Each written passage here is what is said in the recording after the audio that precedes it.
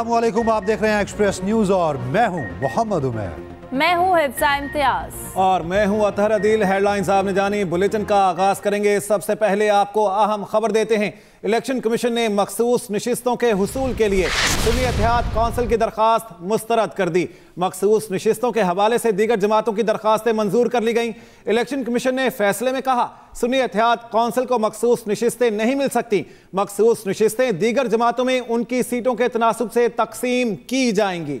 जी हाँ असम्बलियों की मखसूस नशस्तें खाली नहीं रखी जा सकती। सुने तहत काउंसिल को मखसूस नशस्तें ना देने का फैसला मुतफ़ा तौर पर सुनाया गया। मखसूस नशस्तें दीगर सियासी जमातों को देने के लिए फैसले से मेंबर पंजाब बाबर हसन भरवाना का इख्तलाफ। इलेक्शन कमीशन का तमाम खाली मखसूस नशस्तें दीगर जमातों को अलॉट करने का फैसला। इलेक्शन कमीशन ने मखसूस नशस्तों के हसूल के लिए सुनी तहत काउंसिल की दरख्वास्त मुस्तरद कर दी।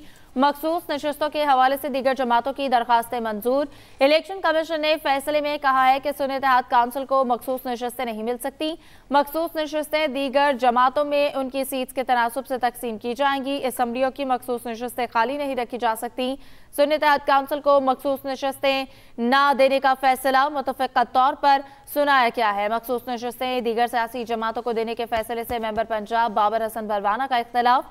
इलेक्शन कमीशन का तमाम खाली मखसूस नशस्तें दीगर जमातों को अलॉट करने का ये फैसला सामने आया है।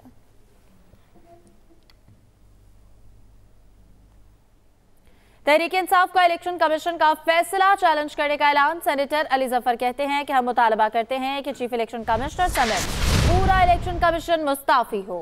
इलेक्शन कमीशन ने गैर आइनी और जमहूरियत के खिलाफ फैसला दिया। हमारी मखसूस नशस्तें दूसरी जमातों को देकर इलेक्शन कमीशन दूसरी गलती करेगा। मखसूस नशस्तों से मुतालिक सुप्रीम कोर्ट का फैसला आने तक सेनेट और सदारती इलेक्शन नहीं हो सकते। पीटीआई का सेनेट और सदारती इलेक्शन मुलतवी करने का मुतालबा। आइन में गुंजाइश नहीं कि मखसूस नशस्तों के बगैर सेनेट और सदारती इलेक्शन हो। हमारे जो कैंडिडेट्स थे, पीटीआई बैक कैंडिडेट्स, वो सिर्फ़ इसलिए उन्होंने सुन्नी इतिहाद काउंसिल को ज्वाइन किया ताकि ये रिज़र्व सीट्स उनको मिल जाएँ। और आने वाला जो प्राइम मिनिस्टर का इलेक्शन है और जो अब फ्यूचर में प्रेसिडेंट का और सेनेट का इलेक्शन है, उसमें हमें रिज़र्व सीट्स वाले लोगों को भी मौका मिले कि वो वोट कर सके। इलेक्शन कमीशन ऑफ़ पाकिस्तान ने इस कानून के मुताबिक आर्टिकल 51 सिक्स डी के मुताबिक जो आइन का हिस्सा है रिज़र्व सीट्स हमें देनी थी तेईस। तेईस रिज़र्व सीट्स हमारी बनती थी। जिन्होंने आगे जाके इलेक्शन में हिस्सा भी लेना था। लेकिन इलेक्शन कमीशन ऑफ़ पाकिस्तान ने आज अनाउंस किया इस कानून के बिल्कुल बरक्स। इलेक्शन कमीशन ऑफ़ पाकिस्तान ने ये अनाउंस किया कि ये हम आपको नहीं दे रहे। इस फैसले के बाद ज़ाहिर हो गया है कि इलेक्शन कमीशन ऑफ़ पाकिस्तान अपनी इस ऑब्लिगेशन इस ड्यूटी इस ज़िम्मेदारी से बिल्कुल खिलाफ वर्जी कर रहा है और आईनी उसने एक वायलेशन की है। आर्टिकल सिक्स उनके ऊपर बल्कि लगना चाहिए। तो हम डिमांड करेंगे आज के दिन इस हाउस से कि पहली बार, पहले तो ये रेजिग्नेशन हम डिमांड करते हैं पूरी पूरी इलेक्शन कमीशन ऑफ़ पाकिस्तान का, फिल फॉर उनको रिजाइन किया जाए। इलेक्शन कमीशन ने मखसूस नशस्तों के हसूल के लिए सुन इतिहाद काउंसिल की दरखास्त मुस्तरद कर दी। मखसूस नशस्तों के हवाले से दीगर जमातों की दरखास्तें मंजूर कर ली गई है। इसी पर बात करने के लिए हमारे साथ मौजूद है एंकर पर्सन जावेद चौधरी साहब। जावेद साहब, बहुत शुक्रिया आपके वक्त का। किस तरह से देखते हैं इस फैसले को? देखिए सर, ये टेक्निकली देखें इलेक्शन कमीशन की बात टेक्निकली ठीक है, लेकिन इखलाकी तौर पर मैं नहीं समझता कि ये फैसला को बहुत अच्छा फैसला है। और इस फैसले के बाद बड़ा अरसे तक इलेक्शन कमीशन को इस पर शर्मिंदगी का इजहार करना पड़ेगा। देखें, इसमें कहीं कि सुनी इतिहाद कौंसिल ने टाइम पे दरख्वास्त जमा नहीं करवाई थी। ये टेक्निकली बात इलेक्शन कमीशन की दुरुस्त है। लेकिन आप ये देखें कि जिस तरह पाकिस्तान तहरीक इंसाफ को इलेक्शन लड़ने पर मजबूर किया गया, वो हालात, वो सरकमस्टांसिस भी कोई नॉर्मल सरकमस्टांसिस नहीं थे। जिस तरह उनको मजबूर कर दिया गया कि आपके पास इंतहाबी निशान नहीं होगा, फिर जो उनके उम्मीदवार थे, जो उनको टफ टाइम दिया गया फिर इलेक्शन डे पे जो उनके साथ जो कुछ हुआ, फिर फॉर्म फोर्टी फाइव के बाद फॉर्म फोर्टी सेवन पे जो कुछ हुआ ये इतना ज़्यादा जुल्म उनके साथ ज़्यादा उनके साथ हुई है कि उसके बाद ख्याल ये किया जा रहा था कि इखलाकी तौर पर सियासी तौर पर इलेक्शन कमीशन उनके साथ कुछ रायत करेगी, उन्हें ये मौका दिया जाएगा। लेकिन इसमें दो काम इलेक्शन कमीशन की तरफ़ से किए गए। पहला तो ये कि ये पहले दिन से पहले पहले जब फ़र्स्ट डे था असम्बली का, उससे पहले पहले ये फैसला हो जाना चाहिए था। लेकिन ये फैसला उस वक्त जानबूझ के नहीं किया गया कि कहीं ये सुप्रीम कोर्ट ऑफ़ पाकिस्तान में चले जाए और वहाँ से इनको रिलीफ ना मिल जाए। एक तो फैसला ये ताखीर से किया गया और दूसरा ये कि फैसला उस दिन किया गया जब हर जगह से इलेक्शंस बाइंड अप हो गए। अब चीफ मिनिस्टर्स बन चुके हैं और उसके बाद प्राइम मिनिस्टर इलेक्ट हो चुके हैं प्राइम मिनिस्टर ने ओथ ले लिया उसके बाद आके फिर ये फैसला किया गया है और एक तो फैसला ताखीर से हुआ। दूसरा ये कि उन्हें मखसूस सीटों से महरूम भी कर दिया गया। तो मेरा ख्याल ये है कि ये इखलाकी तौर पर सियासी तौर पर एक बुरा फैसला है और इलेक्शन कमीशन की जो क्रेडिबिलिटी है वो इससे मजीद सफ़र करेगी। तो जावेद साहब सुन्नी इतिहाद के पास अब कोई कानूनी ऑप्शन या आईनी ऑप्शन हैं जिनके थ्रू वो सीटों को दोबारा से हासिल कर सके या अदालत से रुजू करे? जी मेरा ख्याल है वो सुप्रीम कोर्ट ऑफ़ पाकिस्तान जाएँगे और सुप्रीम कोर्ट ऑफ़ पाकिस्तान से उनको रिलीफ मिल जाएगा। लेकिन उससे पहले पहले एक और एक कंफ्यूजन और क्यास पैदा हो जाएगा वो ये कि ये जो मखसूस सीटें हैं ये दूसरी पार्टीज़ में तकसीम हो जाएँगी। तो पाकिस्तान मुस्लिम लीग नून के नए लोग उनकी नई खातन आ जाएँगी कुछ पाकिस्तान पीपल्स पार्टी की आ जाएँगी। कुछ सीटें जो होंगी वो एम के एम को मिल जाएँगी। और जब सुप्रीम कोर्ट ऑफ़ पाकिस्तान का फैसला आएगा तो फिर ये सारी सीटें रिवर्स होंगी। तो फिर वो खातन जो यहाँ ओथ उठा चुकी होंगी कौम असम्बली का, उनको दोबारा वहाँ से डी सीट किया जाएगा, फिर उनकी जगह नए, नई खातन जो होंगी, उनको ये मौका दिया जाएगा। तो एक नया कन्फ्यूज़न नया क्यास इस सारे मामले में पैदा हो जाएगा। तो मेरा नहीं ख्याल कि इलेक्शन कमीशन का ये जो फैसला है, ये कोई समझदार फैसला है। और इसको कोई स्टैंड कर सकेगी इलेक्शन कमीशन आने वाले दिनों में। सुप्रीम कोर्ट ऑफ़ पाकिस्तान से समरात क्या होंगे आने वाले दिनों में जिस तरह आप भी बात कर रहे हैं कि इखलाकी तौर पर ये फैसला दुरुस्त नहीं है तो आने वाले दिनों में इसके समरात क्या देखने को मिलेंगे? बाकी जमातों के साथ अगर ऐसा होता है तो फिर क्या होगा? तो मजीद क्राइसिस है। ये क्राइसिस को इलेक्शन कमीशन ने बढ़ा दिया तो उन्हें ये चाहिए था कि वो हमदर्दाना गौर करती इनके ऊपर और इन्हें मौका दिया जाता कि ये अपनी मखसूस सीटें कम अज कम ये हासिल कर लेते इससे मेरा ख्याल है ये जो पोलराइजेशन है या ये टेम्परेचर है, वो डाउन हो सकता था। उससे बेहतरी के इम्कान थे और इलेक्शन कमीशन की क्रेडिबिलिटी में इजाफा हो सकता था। और पाकिस्तान तहरीक इंसाफ का जो मौकफ है, बड़ा उसके अंदर शिद्दत है, वो शिद्दत कम हो सकती थी उससे। लेकिन जो इलेक्शन कमीशन ने जो फैसला किया है मेरा नहीं ख्याल कोई समझदारी का फैसला ही है। और इसे सुप्रीम कोर्ट ऑफ़ पाकिस्तान से पाकिस्तान तहरीक इंसाफ को या सुन्नी इतिहाद कौंसिल को डेफिनेटली रिलीफ मिलने का चांस है, मुझे लगता है।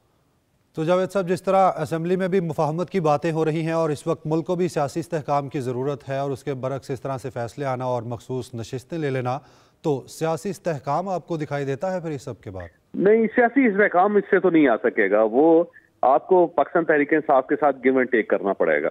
आपको उन्हें ड्यूस जो स्पेस है उनको देनी पड़ेगी। फिर जाके हो सकता है कि कोई दरमियान का एक रास्ता निकल सके। लेकिन अगर आप उनकी स्पेस को कम से कम करते चले जाएँगे इमरान खान साहब के ऊपर ऊपर और मुकदमे बनेंगे उन मुकदमों में ही उनको सजा होगी। फिर उनके चौधरी परवेज लाई साहब जो है, उनको रिहाई नहीं होगी। फिर शाह महमूद कुरैशी साहब जेल के अंदर रहेंगे। फिर इनके जो मेंबर्स हैं उनको टाइट किया जाएगा, जिस तरह उन्होंने महमूद अशक साहब को सदाती उम्मीदवार इन्होंने नामजद किया तो उनके घर के ऊपर छापे पड़ने शुरू हो गए। उनकी दीवारें गिरा दी गई, उनके मुलाजमों को गिरफ़्तार कर लिया गया। तो जब आप ये करेंगे और फिर साथ उनके ट्रिब्यूनल में केसेस चल रहे हैं जब उनकी हेयरिंग नहीं होगी, जब उनके जो इलेक्टेड लोग हो चुके हैं, उनको जब आपने फरिश्ते चेंज करके उनको आपने निकाल दिया या उनको आपने जीतने नहीं दिया तो जब इस टाइप की कार्रवाई की जाएगी हर तरफ़ से तो फिर मेरा नहीं ख्याल कि कोई सियासी इस्तेकाम आ सकेगा, या पाकिस्तान तहरीक इंसाफ कोई इनके लिए थोड़ा सा रास्ता छोड़ेगी। तो आपको अगर रास्ता आपने निकालना है, अगर आपने इस्तेकाम पैदा करना है पाकिस्तान के अंदर तो फिर आपको पाकिस्तान तहरीक इंसाफ के साथ बैठना पड़ेगा गिव एंड टेक करनी पड़ेगी। अभी भी इनके अंदर बहुत से सेंसिबल लोग हैं जो डायलॉग करना चाहते हैं। उमर अयूब साहब डायलॉग करना चाहते हैं, गोहर खान साहब के साथ डायलॉग हो सकते हैं, असद असद कैसर साहब के साथ डायलॉग हो सकते हैं। तो बहुत लोग हैं पाकिस्तान तहरीक इंसाफ के अंदर जो अब भी रास्ता तलाश कर रहे हैं, जो अब भी गवर्नमेंट की तरफ़ देख रहे हैं। तो अगर गवर्नमेंट या सियासी इतिहाद जो है वो अगर इनकी तरफ़ बढ़ता है और ये आपस में बैठ के कुछ सेटलमेंट कर लेते हैं तो फिर तो मेरा ख्याल इस सियासी इस्तेकाम आ जाएगा। लेकिन अगर ऐसा नहीं होता तो फिर मुझे नहीं लगता कि ये सिस्टम कुछ ज़्यादा देर तक चल सकेगा। इसको आपको डंडे के ज़ोर पर चलाना पड़ेगा, जो मेरा नहीं ख्याल कि पाकिस्तान जिसका मुतहमल हो सकता। तो जावेद साहब, अगर अब सैनिटर अली ज़फ़र ने भी अभी कुछ देर कबल बात की थी, उनकी जानब से कहा गया कि हम अदालत जाएँगे और अगर ये चीज़ें अदालत में जाती हैं तो आगे सदर का इंतखब है, सेनेट के इलेक्शन हैं तो वो किस हद तक असरअंदाज होंगे? अदालतों में तो जाएँगे ये लोग, अदालतों में जाएँगे और सदर के इंतखाब में तो ज़ाहिर है पाकिस्तान पीपल्स पार्टी के सदर बन जाएँगे, जरदारी साहब सदर बन जाएँगे, क्योंकि जो सियासी इतिहाद है, उसके पास ज़्यादा अक्सरियत है और सीट्स उनके पास ज़्यादा हैं। और तीन सूबों में उनकी गवर्नमेंट भी है तो वो सदर सदर तो बुला लेंगे। इसमें कोई शक नहीं और जो महमूद खान अचक सही है वो आ, मेरा ख्याल है फिफ्टी परसेंट उनके वोट्स कम होंगे आसफ अली जरदारी साहब के मुकाबले में। तो सदर तो बन जाएँगे लेकिन ये बैटल जो है हर जगह पे पाकिस्तान तहरीक इंसाफ लड़ेगी। ये ऐवानों के अंदर भी लड़ेगी ये सड़कों पर बिल्कुल इसी तरह ऐवानों के अंदर जाएँगे। बहुत शुक्रिया जावेद चौधरी साहब अपनी राय दे रहे थे। आपने वक्त दिया तमाम तरह सूरत हाल पर हमें अपनी राय दी। बहुत शुक्रिया।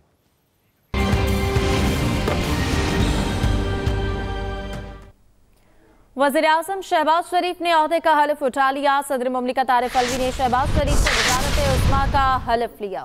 वज़ीर अजम ऑफ़िस पहुँचने पर शहबाज शरीफ को गार्ड ऑफ़ ऑनर भी पेश किया गया। वज़ीर अजम शहबाज शरीफ ने अहदे का हल्फ उठा लिया है।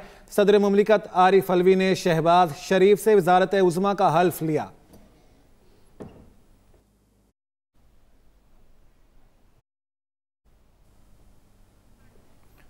वज़ीर अजम शहबाज शरीफ से मुसल्ह अफवाज के सरबराहान की ऐवान सदर में मुलाकात हुई। मुलाकात में chairman joint chief of staff committee general Sahir Shamshad Mirza भी मौजूद थे। जराये के मुताबिक अफवाज पाकिस्तान की क्यादत ने वजारत उजमा का मनसब संभालने पर शहबाज शरीफ को मुबारकबाद दी है, जबकि शहबाज शरीफ ने अस्करी क्यादत की नेख्वाहिशात और मुबारकबाद पर शुक्रिया अदा किया। मुलाकात तीस मिनट से ज़्यादा जारी रही। कौमी और दाखिली सलामती से मुतल उमूर पर तबादला ख्याल किया गया। वज़ीर अजम शहबाज शरीफ से मुसल्ह अफवाज के सरबराहान के अवान सदर में मुलाकात हुई है। मुलाकात में chairman, joint chief of staff committee, general Sahir Shamshad Mirza भी मौजूद थे। जराये के मुताबिक अफवाज पाकिस्तान की क्यादत ने वजारत उजमा का मनसब संभालने पर शहबाज शरीफ को मुबारकबाद दी। ऐवान सदर में वज़ीर अजम पाकिस्तान की तकरीब हल्फ बरदारी तकरीब में आर्मी चीफ ने बिलावल भुट्टो जरदारी से मुसाफा किया। आर्मी चीफ की आमद पर पाकिस्तान जिंदाबाद के नारे भी लगाए गए। ऐवान सदर में वज़ीर अजम पाकिस्तान की तकरीब हल्फ बरतारी तकरीब में आर्मी चीफ ने बिलावल भुट्टो जरदारी से मुसाफा किया। आर्मी चीफ की आमद पर पाकिस्तान जिंदाबाद के नारे भी लगाए गए। खुफिया दस्तावेज़ गैर मुल्की जरीदे में छपना कौमी सलामती पर समझौता है। Chairman Peoples Party Bilawal Bhutto Zardari की बानी पीटीआई पर कड़ी तनकीद, कहा। बानी पीटीआई ने खुद कहा, मुझसे साइफर की कॉपी गुम हो गई। बिलावल भुट्टो ने अपोजिशन को मिलकर इंतखाबी इस्लाहात की दावत दे दी। चार्टर ऑफ़ रेकन्सिलिएशन हो या charter of democracy charter of economy हो, हमें आपस में बात करना चाहिए। अगर आपको वोट दिए हैं तो सिर्फ़ इसलिए नहीं दिए हैं कि आप यहाँ आके गाली दे। हम जब कहते थे, फॉर्म 45 तो आप हमारा मज़ाक उड़ाते थे। हम आपके मज़ाक नहीं उड़ाते। हम समझते हैं कि हमें सब मिल बैठ के इस इशू को एड्रेस करना चाहिए। अगर आप चाहते हो कि इस इशू पे हम फुल स्टॉप लगा दें, ताकि अगली बार अगर शबाज शरीफ साहब इलेक्शन जीते या आपका कैदी नंबर 804 इलेक्शन जीते। गिरफ्तारी के बाद that alleged cipher is printed in an international publication तो मतलब if you think the people of Pakistan are fooled then you are wrong हम सब जानते हैं कि जान बूझ के किसी ने उस साइफर को, उस साइफर की एलेजेड कॉपी को इंटरनेशनल पब्लिकेशन में प्रिंट किया।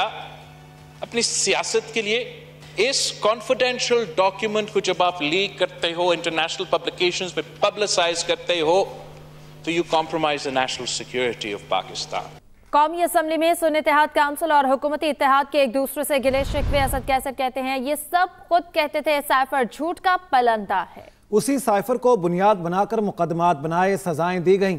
राजा परवेज अशरफ बोले आप किसी के लीडर पर बात करेंगे तो जवाब भी मिलेगा। ये सब नहीं कहते थे कि झूठ का फलंदा है, कोई साइफर नहीं है। तो ये प्रेस कॉन्फ्रेंस करते थे, ये तकरीरें करते थे और ये कहते थे कि झूठ है, कोई हकीकत इसकी नहीं है। फिर इस साइफर को बुनियाद बना के उसको सजाएँ दी गई। चौदह चौदह घंटे जो है अदालत की प्रोसीडिंग चलती है। और मकसद ये है कि किसी तरह गन पॉइंट से, जज के ऊपर गन पॉइंट से उसको सजा दिलाई जाती है।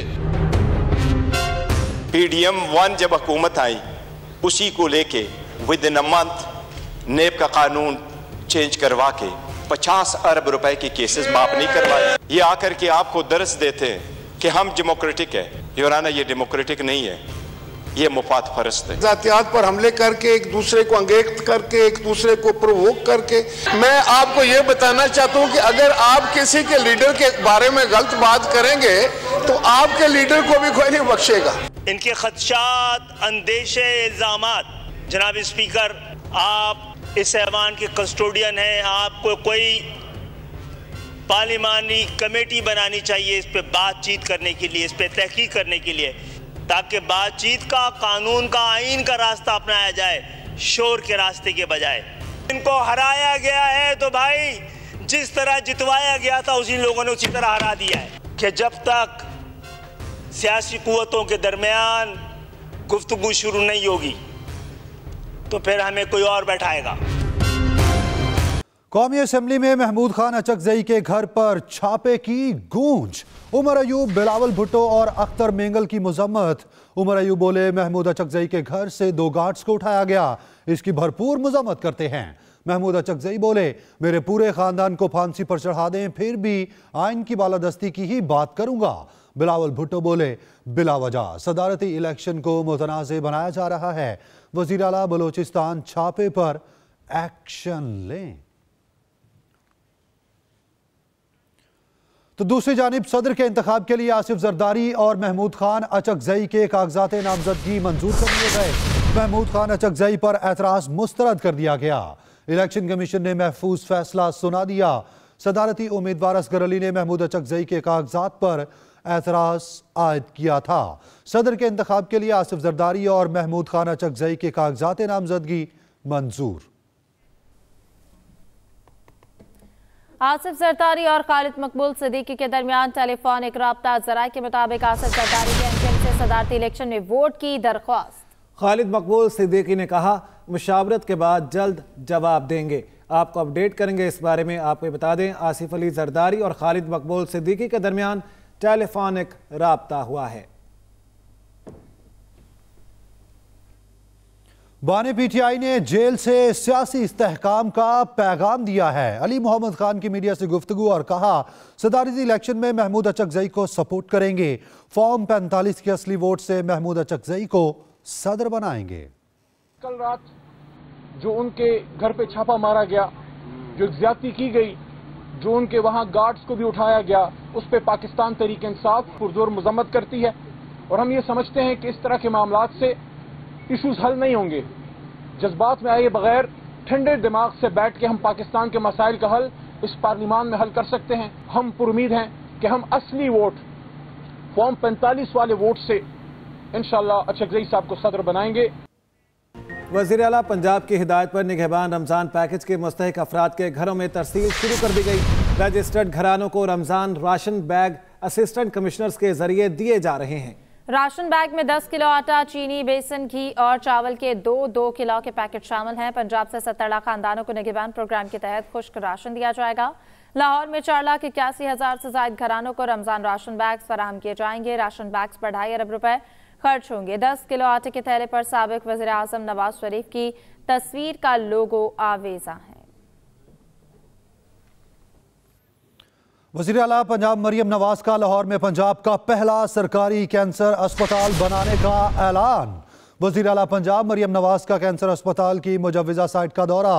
वज़ीर अला मरियम नवाज़ को कैंसर अस्पताल की साइट से मुतालिक ब्रीफिंग दी गई है। मरियम नवाज़ की कैंसर अस्पताल के लिए दुनिया भर से बेहतरीन स्पेशलिस्ट डॉक्टर बुलाने की हिदायत सामने आई है, जबकि वज़ीर अला पंजाब मरियम नवाज़ ने कहा, पंजाब के पहले सरकारी कैंसर अस्पताल में मरीजों का मुफ़्त इलाज होगा। कैंसर अस्पताल में बेहतरीन डॉक्टर और जदीद तरीन मशीनरी लाएँगे। सऊदी वली अहद शहजादा मोहम्मद बिन सलमान के शहबाज शरीफ को वजी अजम बनने पर मुबारकबाद। सऊदी वली अहद शहजादा मोहम्मद बिन सलमान ने वजी अजम शहबाज शरीफ के लिए नेक तमन्नाओं का इजहार किया। सऊदी वली अहद शहजादा मोहम्मद बिन सलमान की शहबाज शरीफ को वज़ीर अजम बनने पर मुबारकबाद। और अब कुछ बात करें बदलते मौसम और उसकी तबाहकारियों की तो केपी में बारिशें और बर्फबारी कई जाने ले गईं। मकानों को भी नुकसान पहुँचा। वज़ीर अला अली अमीन गंडापुर की हिदायत पर मुतासरीन में इमदादी सामान की तकसीम जारी है। मजीद बताएँगे मोहम्मद हारून। पुख्तनख्वा में बारिशों और बर्फबारी ने तबाही मचा दी। गुजशत पाँच दिनों के दौरान सूबा भर में छतें और तोदे गिरने, दीगर हादसा में कीमती माली और जानी नुकसान हुआ T D M A report के मुताबिक, खैबर पुख्तनख्वा में बारिशों, तोदे गिरने और हादसा में अब तक पैंतीस अफराद जा बहक हो चुके हैं। तेज बारिशों से तीन सौ छियालीस घरों को जुजवी छियालीस घरों को मुकम्मल नुकसान पहुँचा Dir upper Dir lower Chitral upper lower Swat Buner Shangla और दीगर पहाड़ी इलाकों में मरकजी और रबता सड़कें पाँच दिनों से बंद हैं लोग घरों में मसूर होकर रह चुके हैं टेलीफोन बिजली और इंटरनेट सर्विस भी बंद है बाज़ार भी बंद है लोग खुराक का सामान भी नहीं खरीद सकते वज़ीर अली अमीन गंडापुर की हिदायत पर मुतासरीन में इमदादी सामान तकसीम किया जा रहा है मोहम्मद हारून एक्सप्रेस न्यूज़ पिशावर।